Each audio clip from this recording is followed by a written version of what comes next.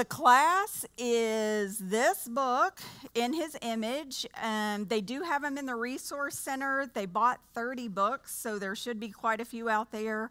Are $8 out there. That's currently cheaper than Amazon.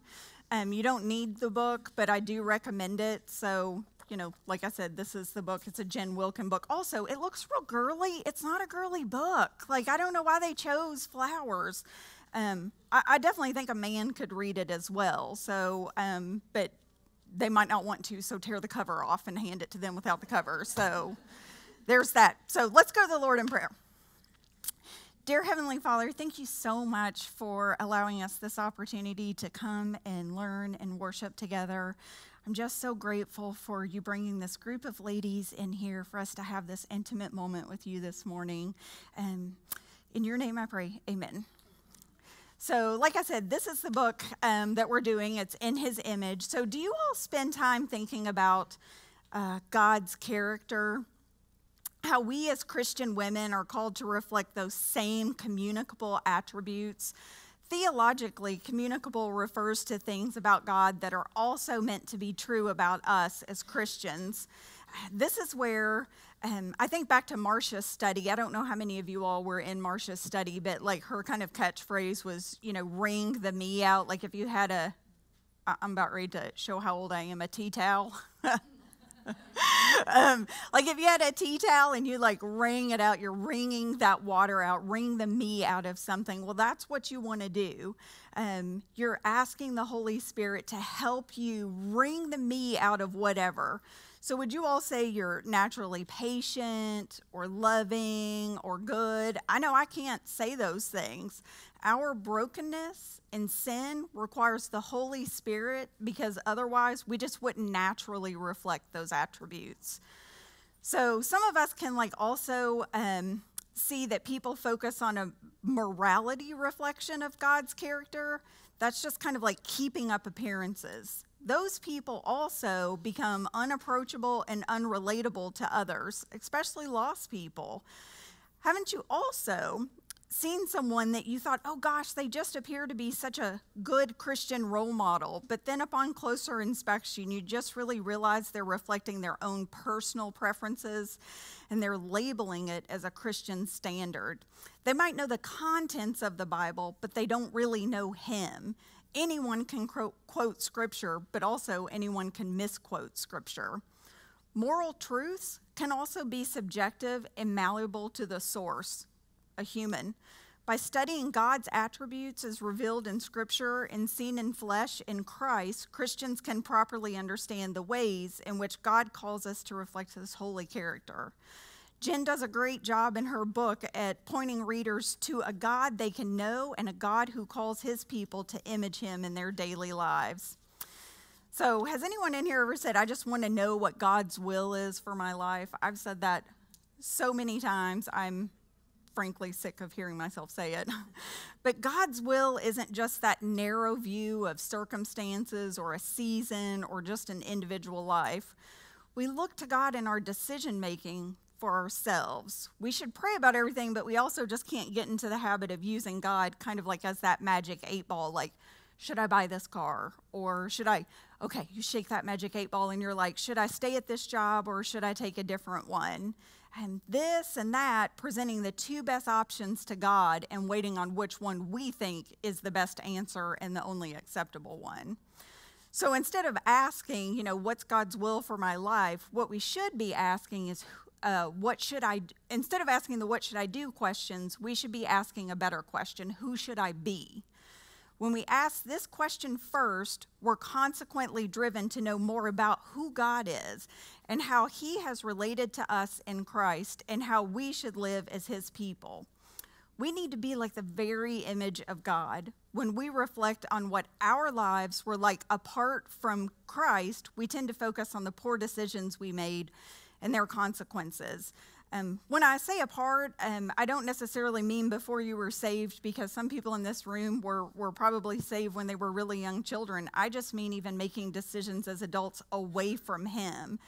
Because there's a lot of times as an adult that I've made decisions without going to Him and prayerfully asking Him what I should do, and I end up making a really boneheaded decision. So, what we want to do is we want to really focus on what our heart, making sure our heart is right. We need to focus on our actions. If we focus on our actions without addressing our hearts, we're just going to end up as better behaved lovers of self. And we don't need to do that. I can base the right answer on what I think is right. Uh, we once bought a used car. Um, from the moment we got it, the car was just a complete lemon. I realized after a lot of thought, um, I bought the car because what I thought it said about me. I'm embarrassed to say that, but that is that's true. That's something I struggle with. Um, and I get how funny that is because I just told you the car's a lemon, and I bought it because I thought it said something about me. so our feelings deceive us, and our self logic uh, betrays us. I had old feelings and wants that lingered in my heart, and Satan used those for a used car purchase. That's just dumb. Like, it's just a really dumb little thing. But he got in there. I didn't pray about the car, I just knew I wanted it. And it was a valuable and really expensive lesson for me to make sure that my heart's right. So, when we study God's attributes, it can't just be some academic exercise. It should change how we relate to Him and to others. Um, I grew up in small town Georgetown. That was pre Toyota days. This meant everyone knew to whom I belonged. Um, and I don't know if you all saw my Facebook post, but this face is my dad's. And it's really apparent who I belong to. Um, because everyone knew who I belonged to, I knew I couldn't do certain things or say certain things because I was a reflection of my father. If I did something wrong or said something ugly, how would people view him? Are we concerned about how our actions and words reflect our heavenly Father? Furthermore, are we showing the example that God is enough? Studying God's communicable attributes drives us to properly reflect His image in our lives as we see Christ as the perfect example, example of the image of God.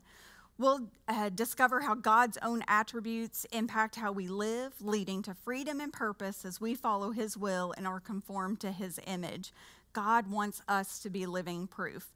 So, in this book, there's going to be three key insights. Again, I don't think you all really need the book. Um, it, it actually was kind of hard to do this particular study because I think she covered every topic so well. Have, has anyone read the book yet?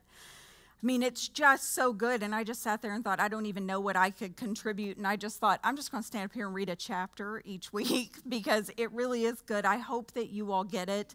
Um, in the book, there are really personal study questions at the end of each chapter. Um, I feel like they're maybe too personal for us to even do in a group. Maybe you all could have a close friend and break off and kind of do those, but the, the questions are really good. So I do encourage you all to get the book.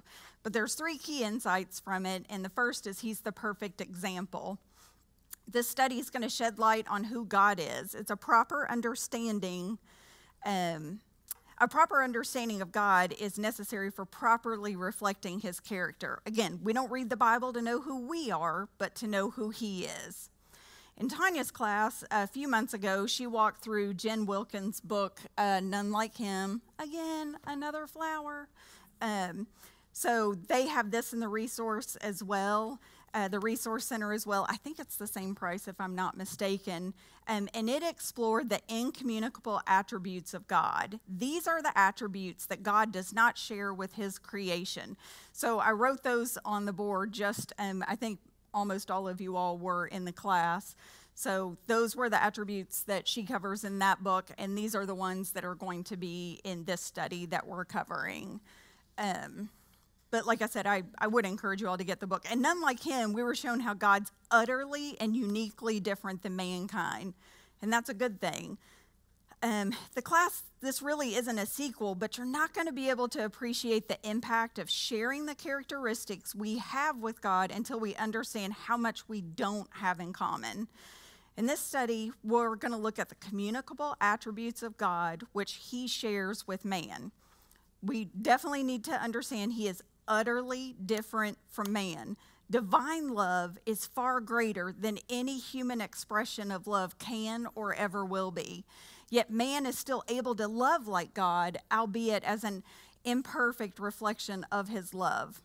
So, any discussions of who should I be as it relates to Christians being re imaged by God must begin with a proper understanding of who God is. God's the perfect source from which all his attributes flow. For us to be holy, good, loving, merciful, just, graceful, faithful, patient, truthful, and wise, we must first see these attribute, attributes come from our perfect God. So, the second key insight from this book is He's the perfect example. A proper understanding of God is necessary for properly reflecting His character. Scripture tells us that Christ is the exact imprint of God's nature. In Hebrews 1 3, the Son is the radiance of God's glory and the exact representation of his being, sustaining all things by his powerful word.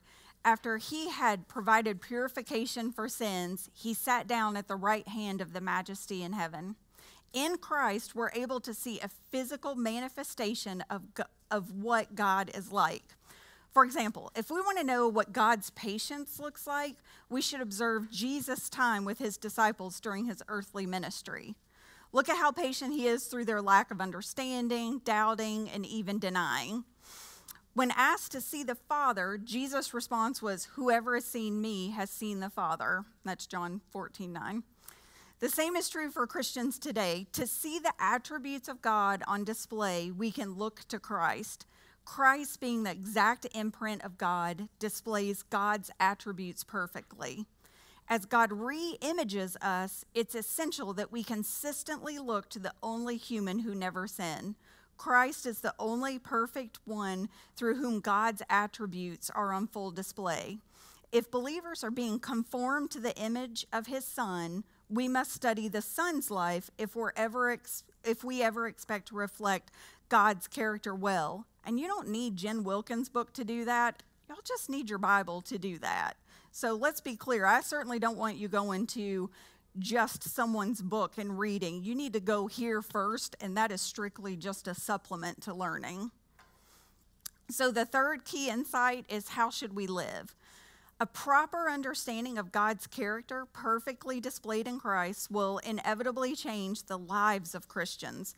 After spending time studying God's attributes and specifically how we're displayed in Christ, we must give careful thought to how we can show these attributes in our everyday lives. As we study each of these 10 communicable attributes, we have to be thinking, how will I reflect this character of God today?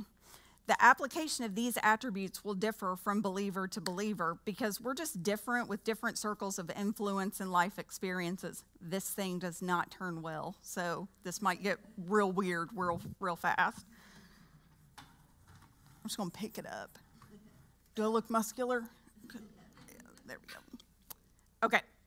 So, what we need to do is when we're thinking about those attributes, um, each week, today we're going to cover one but in the subsequent weeks, we are going to cover two per week. So, what we need to do is actually fill in how this is going to change. So, today, we're doing holy.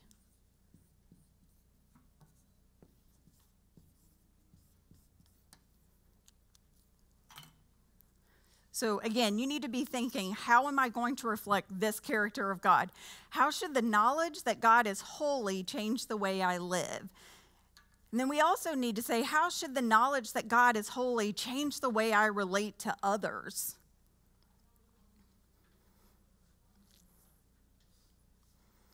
So, again, today I thought we'd only cover holy, and it's a doozy. And I can't even scratch the surface in an hour. So, I think let's just kind of think about like what the general definition is of holy. Does anyone want to throw it out? She said perfect pure, sinless. The definition um, in the dictionary is dedicated or consecrated to God uh, for a religious purpose, sacred. And the adjective is holy. The comparative adjective is holier. The superlative adjective is holiest. Therefore, holiness is the state of being holy. This attribute sets God apart from created beings. It refers to his majesty and his perfect, perfect moral purity. There's no sin or evil thought in God at all. His holiness is the definition of that which is pure and righteous. So, uh, why don't you all tell me some phrases that you remember your parents saying to you?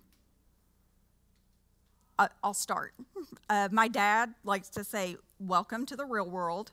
So, that's not funny. I don't like it when he says it. Um, uh, I also like to, I, I, think life should be fair, and my dad always says, Who told you life was fair? Um, he also likes to say this to me, even at the age I am now, it isn't about you. So, what, what have your all's parents said that you remember? Yeah, I don't, I don't like it when parents say that. Like, that kind of feels like welcome to the real world. Yeah. Uh huh. Pat. Yeah. Yeah. Anybody else? Hit me with it. Oh, yeah. I've heard that one numerous times. Yeah. We're on the same page with that. Wait, have you heard that or have you said that? Oh, okay. Yeah. Yeah. I kind of already knew that answer. I just wanted you to say that. So. okay. I could, I could hear Papa saying that right now. That's for sure. Yeah. So we repeat what we want others to remember, and we learn what we hear repeated. Following the rule of repetition, the Bible wants our first thought about God to be that He is holy. The word holy almost appears 700 times in the Bible. In the verb form, sanctify, it appears an additional 200 times. No other attribute is joined to the name of God with greater frequency than holiness.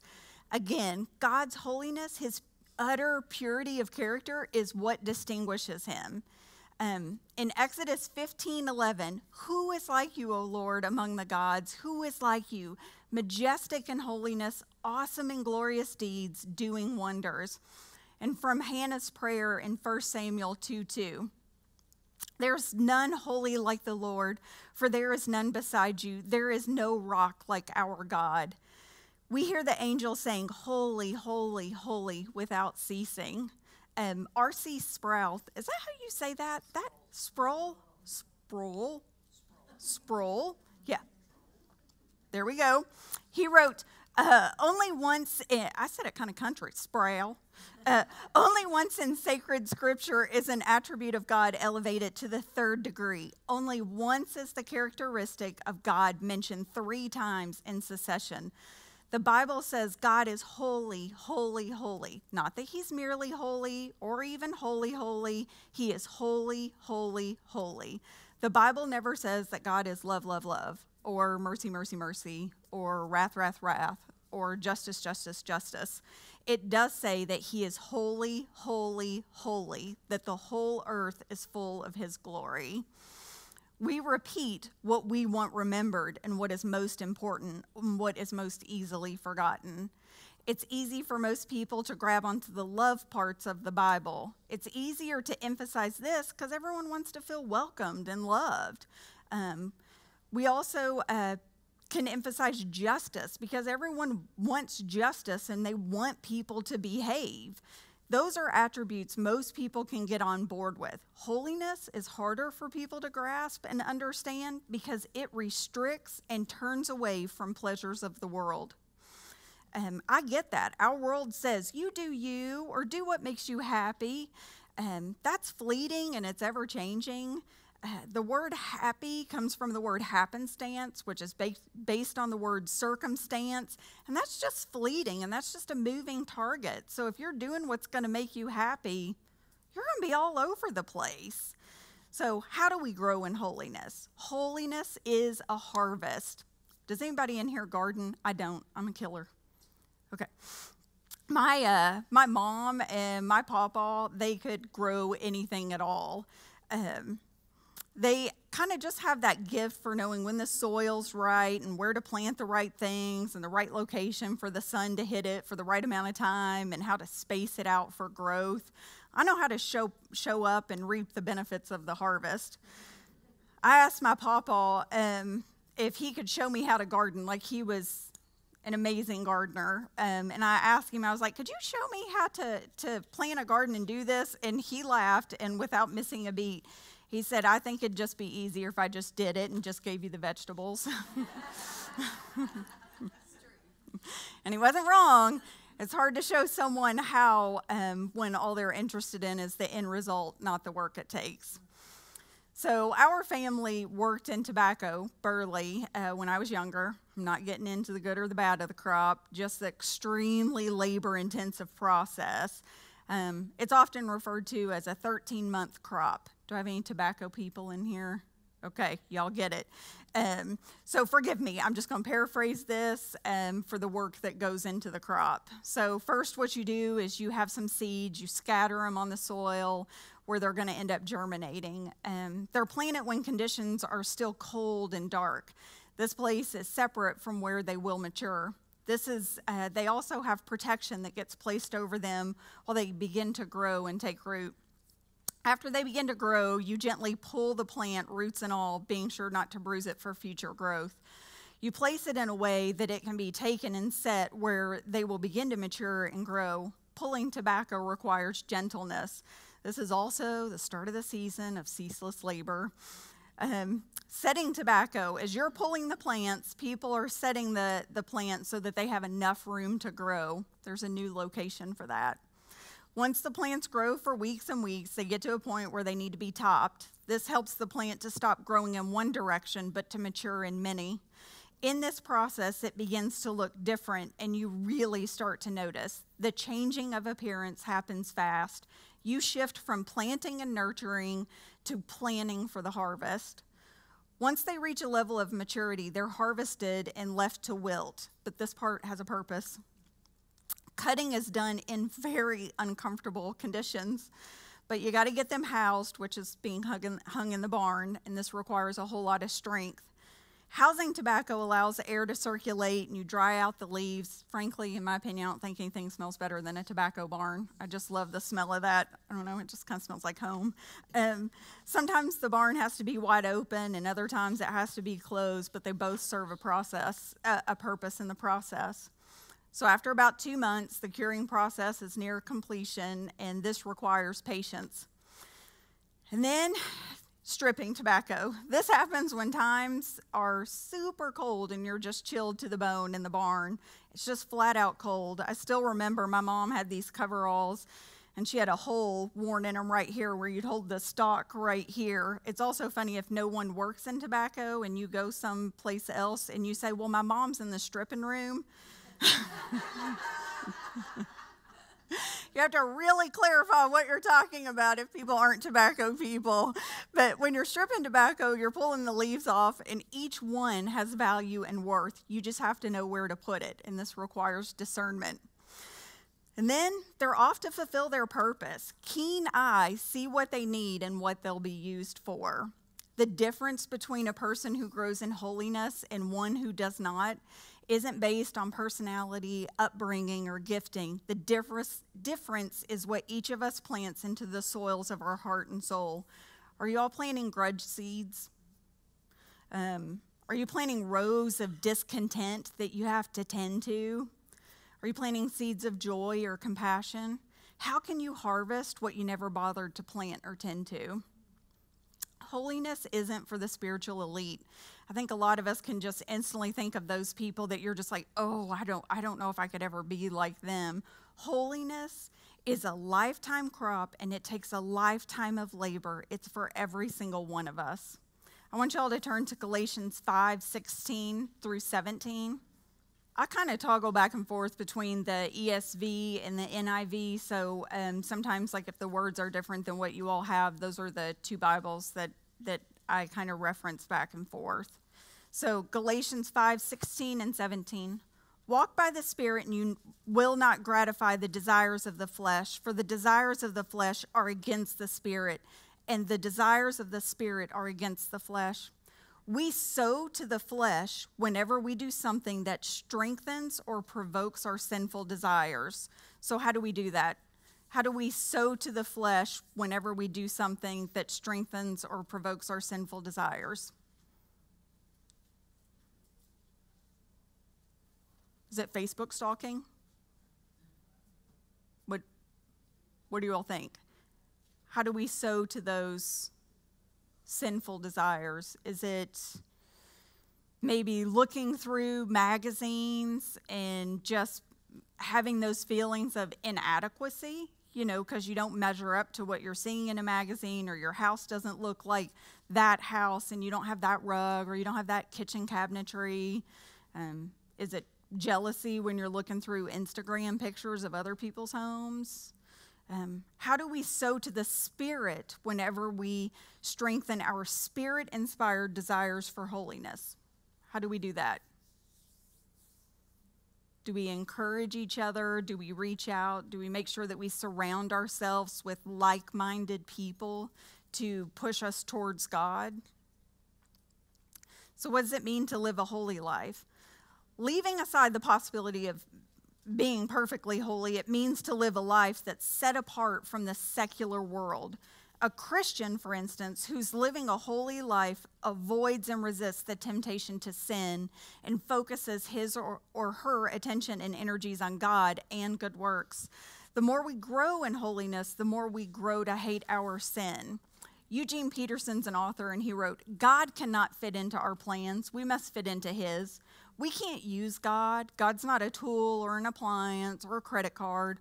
Holy is the word that sets God apart and above our attempts to enlist Him in our wish fulfillment fantasies or our utopian schemes for making our mark in the world. Holy means that God is alive on God's terms, alive in a way that exceeds our experience and imagination. Holy refers to life burning with an intense purity that transforms everything it touches into itself. So we're to have transformed character. Believers are set apart to be his special people. Christ followers do not conform any longer to the patterns of this world because they are not of the world, even as I am not of the world. Jesus said, this is Romans 12, 2 and John 17, 16. So, what's worldliness? It's more than what one does. Worldliness is not restricted to just those in the world, it's among the challenges we even have right here in church. Whatever we love or live for more than Christ is of the world. The spirit filled heart does not take on the spirit of today's wants. When character is transformed, changes happen to our direction, our lives, our behavior, our conversations, our destination. If we aren't pursuing Christ, we're pursuing something. Paul wrote to the Corinthians, We submit to being transformed into his image. This relationship's not going to be static. We're constantly abiding in him. The dialogue between the Spirit and the followers of Christ, where the Spirit is creating and shaping us into the image of God continues. The Holy Spirit dwells within us. This also alludes to the importance of our prayer life. For those with kids, doesn't it drive you bonkers when you know something's going on and you just want to help or advise or intervene, but they say nothing, so you just kind of sit back and watch this unfold? Um, or maybe you have parents who need something or help and then they don't ask you for help and you know you could have helped and they won't let you help. so, yeah, that. So, so we, were, we remain pure only as the Holy Spirit, moment by moment, continues to cleanse our hearts and transforms us into his image.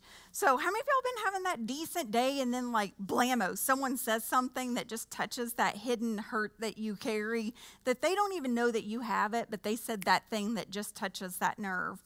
Or someone hurt your kid and then you suddenly feel like the heat of a thousand suns and you want retribution. The Holy Spirit renews and works on us every day. Every day we need Him. We have to be a living proof of a holy God. Those hidden hurts will become more manageable because we aren't looking for man to fix them, but we're allowing the Holy Spirit to abide in us and we're going to manage those differently because of Him.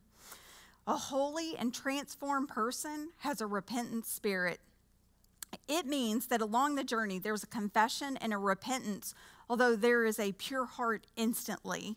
there is a yielding and obedience to continuous transformation. So, has anyone seen um, taffy, like hand taffy being made or pulled? At first, it's just a giant hard blob. It's just completely unyielding. And it requires a lot of working and strength and effort to make it pliable and workable. Our hearts are that way and we can be hardened. We don't want to be used. We trust our hurts more than the holy healer. We'll carry a grudge for a lifetime, but we won't carry an invitation to church to a neighbor. Holiness and wholeness are closely related, and God wants the whole of your life, not just your Sundays. So, we're also to have an engagement in God's mission. God took the initiative to live in us, Christ in you, the hope of glory, Colossians 1:27.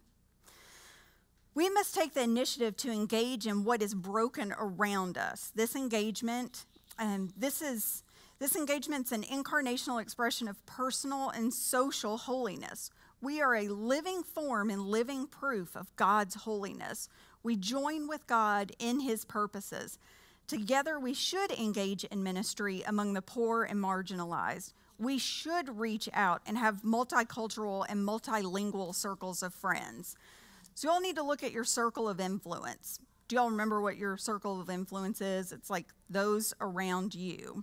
So, uh, picture math class or drafting. We had to take drafting. Did you all have to take drafting when you were in school? We had to do that. Yeah, of course you did. Um, you would be the one that I expect to say that. So, but you all know what a drawing compass is, right? Like, because you took math. Um, so you all just picture this. You're the point, and the pencil draws the circle around, and you can adjust that to be wider and wider or smaller or smaller, but it's your choice. You're the one that's in control. So you're the point, and your circle is the circle of influence. Your circle of friends should be as diverse as your circle of influence. Heaven's not going to look like this class. So, another thing is when our leaders of our church or a spiritual mentor starts to push you to find a place of ministry, there's a reason. Anyone ever felt pushed out of their comfort zone in this way? I laugh because she's going to be teaching a class and that's out of her comfort zone, so I feel her.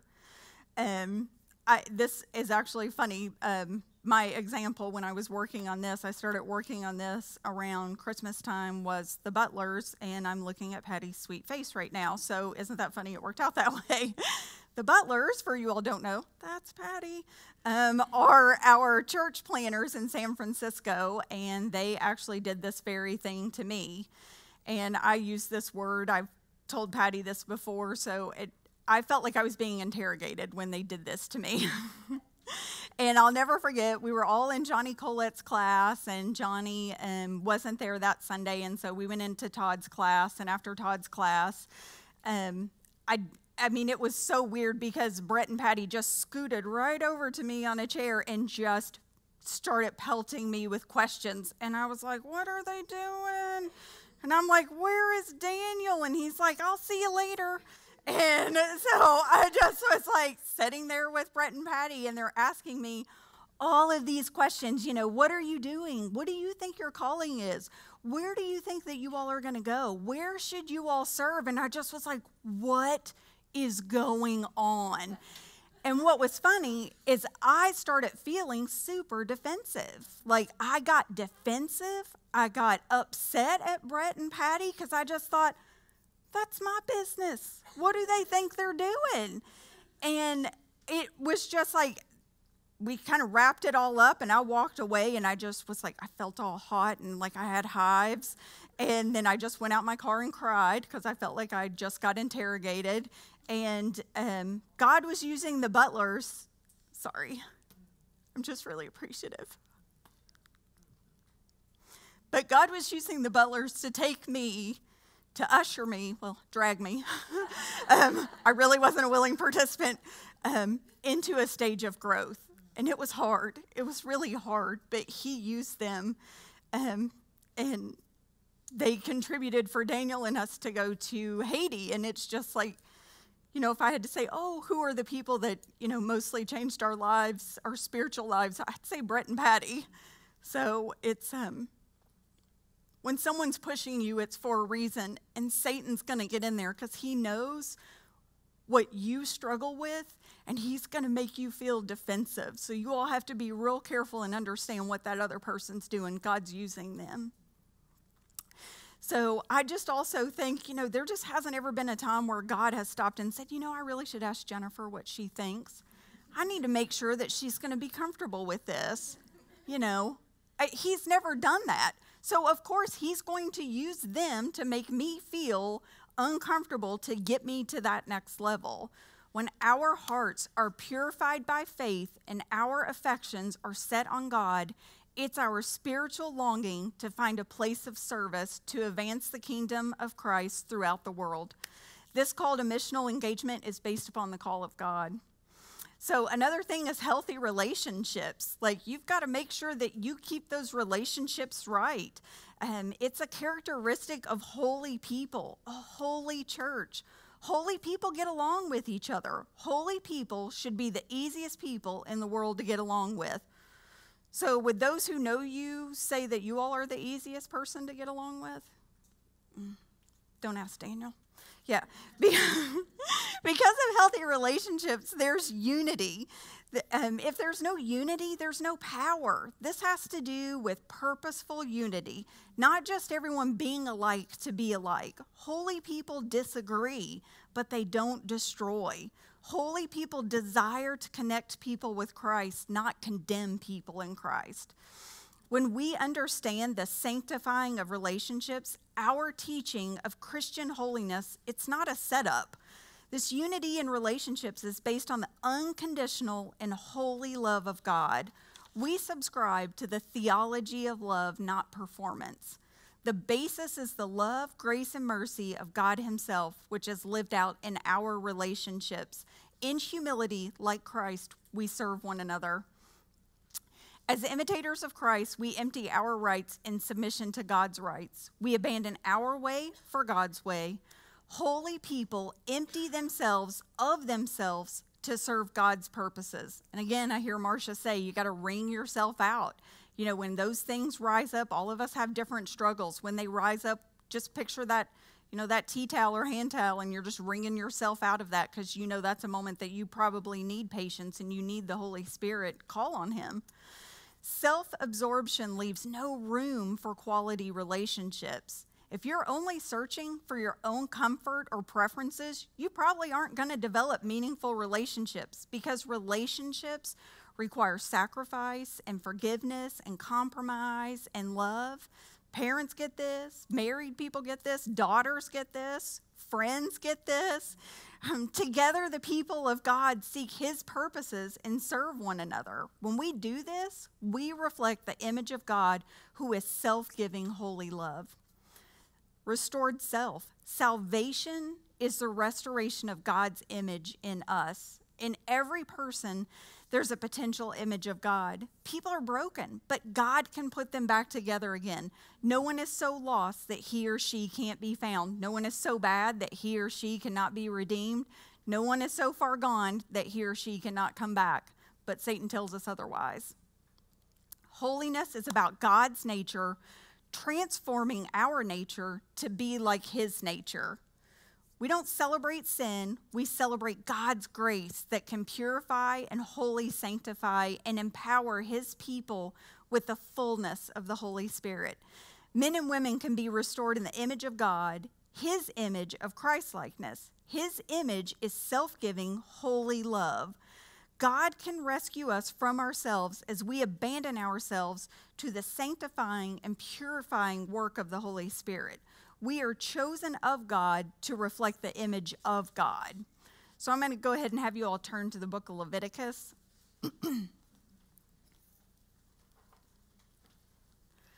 book of Leviticus is uh, grounded in the truth that God is holy. To say that God is holy means that he is completely separate from all evil and defect. Or to put another way, God's completely and perfectly good. The Lord is worthy of total allegiance and exclusive worship and loving obedience. Israel's identity arises because by God's actions, they are holy. yet also because the Lord expects Israel to act holy in, partic- in practical ways. Israel is called to be holy because the Lord himself is holy. So in Leviticus 11, I'm going to have you all jump down to verse 44 and 45. So Leviticus 11, 44, 45. I'm the Lord your God. Consecrate yourselves and be holy because I am holy. Do not make yourselves unclean by any creature that moves along the ground. I am the Lord who brought you up out of Egypt to, to be your God. Therefore, be holy because I am holy. Hop down to Leviticus 19 2.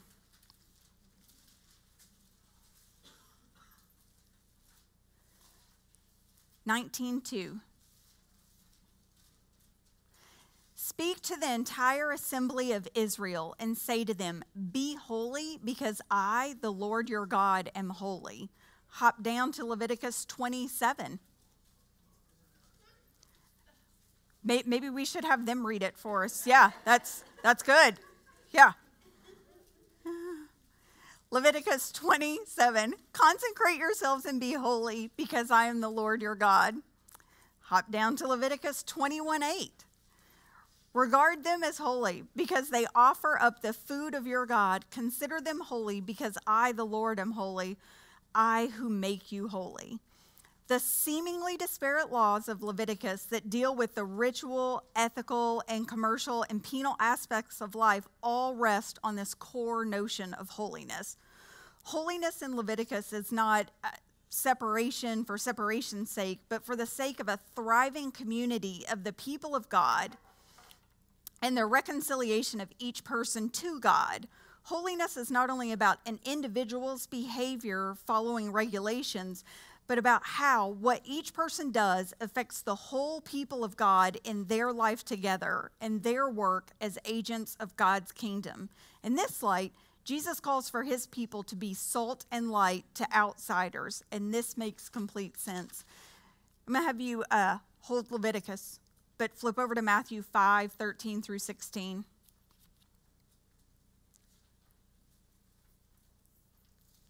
Matthew 5 13 through 16.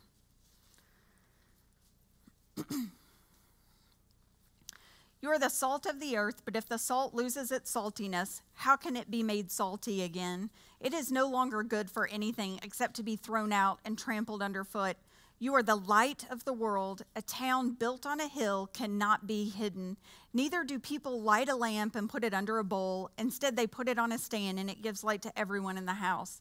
In the same way, let your light shine before others, that they may see your good deeds and glorify your Father in heaven. To be holy is to go beyond the law uh, and to love your neighbor and to even love your enemy and to be perfect, therefore, as your heavenly Father is perfect. So you can see Matthew 5:48 is echoing Leviticus 9 2. Um, in ancient Israel, um, they did not obey the laws in Leviticus as just like some peculiar sets of regulations, but as an expression of God's presence in their midst. This is as relevant to God's people today as it, is, as it was then. In Leviticus, God is taking a collection of nomadic tribes and shaping their culture as a people. Likewise, today, when God's people enter their places of work or school or neighborhoods, just all the places we go, through them, God is shaping our cultures and our work units and our organizations and our communities, our circles of influence God, we are influencing them. God's call to be holy is a call to shape our cultures for good and for his purposes. We're to serve the Lord in a life of holiness. We need to start uh, taking sin more seriously, too. I think what we can kind of do is sometimes just be like, oopsie, did I do that? Sorry. Well, I'm human. And then you just kind of move on and just forget it like it was absolutely nothing. We also get into the habit of unconsciously thinking um, or making certain sins worse than others. And that's not true. In the Old Testament, Ezra sees the people of God sinning and he pulls his hair and beard out. Could you imagine if we saw someone just start doing that in Kroger? We, I mean, like, we wouldn't think, oh gosh, you know, he's burdened by sin. Like we would just think, oh, that person's crazy, whatever. Um, when Nehemiah sees the people of God sinning, he beats them. And on other people, he actually rips their hair out. Leviticus shows us that God does not think is God does not think sin is just like an oops, sorry. Just consider the impact of carrying out God's instructions um, for uh, offering burnt offerings, sin offerings, guilt offerings. There's all different kinds of offerings in the book of Leviticus. But and I do recommend you all read uh, Leviticus chapters uh, one through three. I wish we had time to read all of them, but we don't. So, uh, what we're going to do is we're just going to read Leviticus 1, verse 3 through 5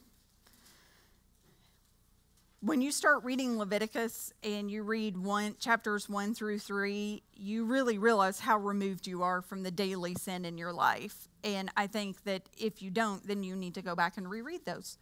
Um, but like I said, we're going to read uh, Leviticus 1 3 through 5. if the offering is a burnt offering from the herd, he is to offer a male without defect. He must present it to the entrance of the tent of a meeting so that it will be acceptable to the Lord. He is to lay the hand on the head of the burnt offering and to be accepted on his behalf to make atonement for him. He is to slaughter the young bull before the Lord, and then Aaron's sons, the priests, shall bring the blood and sprinkle it against the altar on all sides to the entrance at the entrance to the tent of meeting. then it just goes on and like I said it goes through grain offerings, guilt offerings, sin offerings. I mean, could you all like really imagine that? Like you have sinned and now you just like what if you had to go get a calf? Um, most people also had like one robe. You know, they had one robe. They might have like the muslin undergarment, but they had one robe. And I don't know if y'all have ever even just been around a campfire. You have to wash your clothes, you have to wash your hair, it gets into everything. So just imagine like you have to slaughter a calf and you have that one rope, Okay, now you know you're completely covered in this blood. Fires are not clean. You're also getting dirty from fires. Um, this goes on to say in Leviticus, uh, it talks about. Um, if you look down, it talks about birds. You're wringing their necks and tearing them open by their wings. People also had to break the clay pots that they used. They didn't have a target to just go and replace this really valued vessel that they have. I mean, you would really seriously think twice about sinning if the only pot your family had, you had to break it because you were making you were off making an offering. The vivid reality of animal sacrifices made it difficult to take sin lightly. As we reflect on these instructions, we can see how they foreshadow a far more substitutionary sacrifice, the body and blood of Jesus Christ, God's only begotten Son. Because God takes our sin that seriously, we should too. Be holy as the Lord is holy. In all the universe, only God possesses a flawless character. He cannot be measured against a higher moral standard. He's the absolute standard of all perfection and purity. As fallen human beings, we can barely begin to understand God's complete sinlessness. In fact, the closer we draw to Him, the more aware we become of our own sinful condition. In today's world, it seems sin's just an outdated concept. Leviticus reminds us what reminds us that God's holiness is real, undeniable, and just as, as deserving of our reverence, respect, and worship today as it was in the days of Moses or past. Leviticus details how the Israelites were to relate to their holy God, living out commands conveyed in what some Bible scholars have called the Holiness Code. God expected his people to be noticeably different from their neighbors, and he sharply distinguished between proper worship of himself and the offensive customs of neighboring people who serve little g gods. Only a holy God desires a holy people. So, how can we live a holy life uh, when the world around us is unholy? The first thing is disconnect. Disconnect from the world to live a holy life. Do not be conformed to this world, Romans 2 12 2.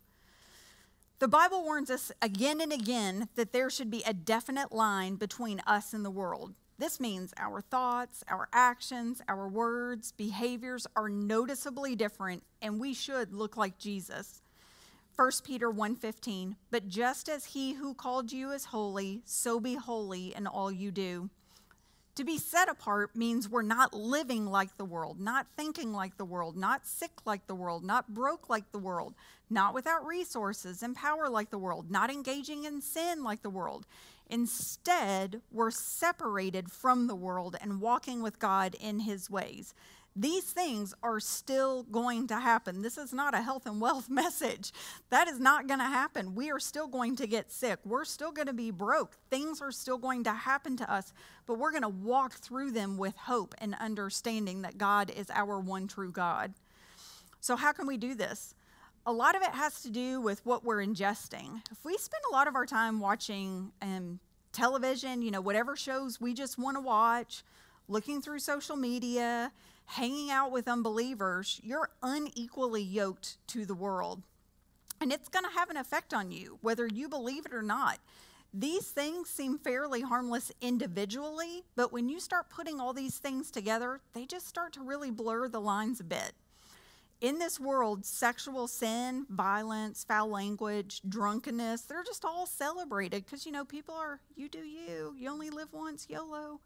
Um, but Christian values are getting laughed at more and more. That's why 2 Corinthians 6:14 says, "Do not be yoked together with unbelievers. For what do righteousness and wickedness have in common, or what fellowship can light have with darkness?" This verse applies to marriage, but it also applies in all your relationships as well.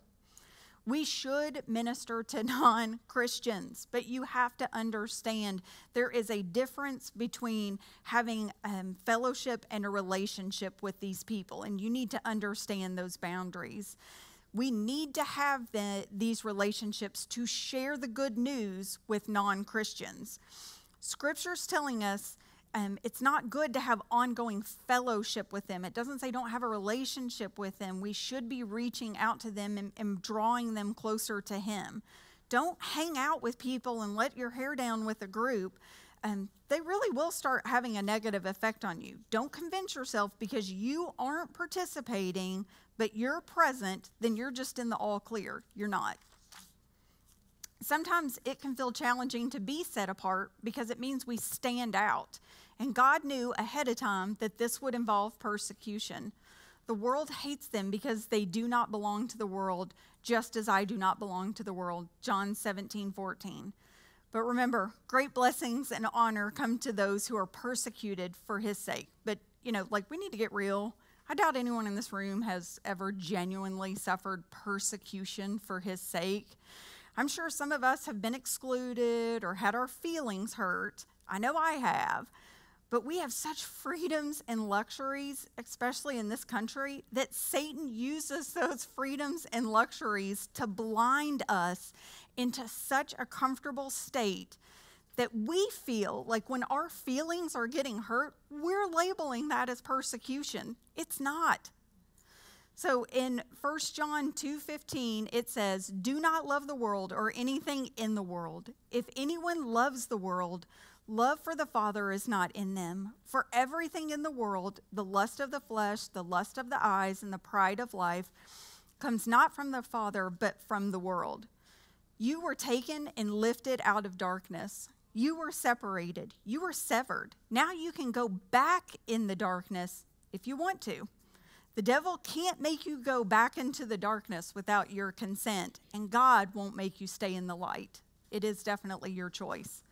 Colossians 1:13 For he has rescued us from the dominion of darkness and brought us into the kingdom of the son he loves.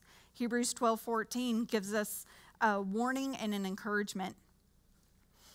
Make every effort to live in peace with everyone and to be holy. Without holiness, no one will see the Lord.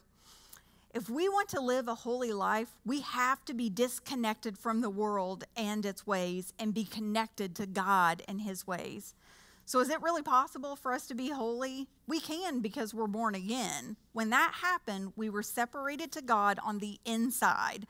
God expect, expects us to walk that separation so that it will take effect on the outside as well. Holiness isn't this scary thing that only just like a few people, you know, that spiritual elite that they achieve. Like everybody in the body of Christ should walk in holiness. We've been given the robe of righteousness, but we have to maintain it. We have the Holy Spirit living inside us for that purpose. He directs us in holiness. The second thing we need to do is flee from temptation to live a holy life. Flee from temptation. Flee the evil desires, says 2 Timothy 2:22. You can resist any temptation that comes your way. We've got power. 1 Corinthians 10:13 says, "When you are tempted, God will also provide a way out." We must flee from temptation to live a holy life. And frankly, in this room, of I don't know how many ladies are in here, what is going to tempt us, we probably, there's probably 30 different things that each of us would consider a temptation because we're all different. So it it is really important to have that spiritual mentor, that friend, that person that holds you accountable, that can pull you back, that person that knows what your temptations are. So, whose job is it to keep us pure? Whose job is it to straighten out things that are displeasing to God in our lives? We're not just victims. To flee from temptation, is it God's? Is God responsible? Was he at fault when Adam and Eve disobeyed him in the garden? No, he told them exactly what to do, and they had a choice, and they knew what they were doing. We have a choice too. Let us cleanse ourselves. 2 Corinthians 7 1. We're temples of the Holy Ghost, indwelt by the Spirit of God. So when our flesh rises up, the Bible says to crucify it. So, what does that mean? That means you don't let your flesh just live the way it wants to live. You crucify it when it wants to do or say things it should it shouldn't do or say you say body shut up. You're not going there. You're not doing that. I don't even want to hear that. And then you just shut it down. I think all of us have that tiny little voice that says no no or you shouldn't. And we have to make sure that we're attuned to that little whisper it isn't a sin to be tempted. Sin is yielding to and acting on it. When temptation comes, it's often a thought that comes out of left field. Um, that's the devil seeing if you're going to go for it. So, what do you do when that happens? There's an old saying that says, You can't stop the birds from flying over your head, but you can stop them from nesting in your hair. And that's exactly the way it is with thoughts from the outside, those temptations coming to you from all directions. The third thing, obey the word of God to live a holy life. As we've already discovered, holiness is being separated to God. It's what you do with your life day by day. It's ordering your conduct according to the Word of God and the promptings of the Holy Spirit. If you're separated to God, you're going to obey his word, not just some of the time and not just by obeying some of his commandments, but all the time, obeying all his commandments to the best of your ability.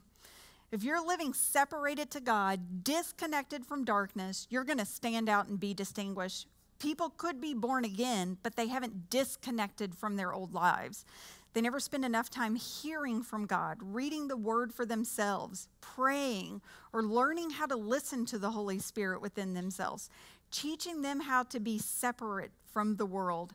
As a result, they never change on the outside, but the change on the outside is what enables us to walk free. It's when you change on the outside that you experience the blessings of God. When you change on the outside, you experience all that God provided for you when He saved you. That's when you're going to walk in holiness, and people are really going to take notice. Obeying the word is the same today as it's always been. Sin hasn't changed. God commandments, they haven't changed. The world and society and what they deem as acceptable is always changing. The love boat used to be scandalous. I mean, it used to just embarrass me. And now I look at that and I'm like, that's crazy. um, so I think that that is ever going to be changing. And we have to be attuned to that because when we see that the world is always it's always changing its meter of what's acceptable. God never does. He never ever changes what he finds acceptable and what he expects from us. Obeying the word is the same today as it's always been. How comforting is it to know that god never changes? To live a holy life we don't go by what the world says is good and right isaiah 5.20 woe to those who call evil good and good evil who put darkness for light and light for darkness, who put bitter for sweet and sweet for bitter. Romans 12, 1 through 2. I'm sure a lot of you all have that memorized. Therefore, I urge you, brothers and sisters, in view of God's mercy, to offer your bodies as a living sacrifice, holy and pleasing to God. This is your true and proper worship. Do not conform to the pattern of this world, but be transformed by the renewing of your mind. Then you will be able to test and approve what God's will is, is his is good, it's pleasing, and his perfect will. So next week we're going to discuss God most loving and God most good. Let's pray. Holy Spirit, I ask for your help. Would you open our eyes and our hearts so it would stir up in us an understanding of your majesty? I know some of us are walking in really difficult situations in this room, just really painful times, and I know their hurt is real.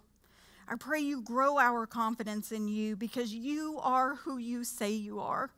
You are holy in power, you are holy in presence, and you are holy in your wisdom, and we are not alone. Lord, help us through your Holy Spirit who lives in us to be holy as you are holy. Stir in our hearts to know and believe this. We love you and are so grateful for our time with you. In your name I pray. Amen.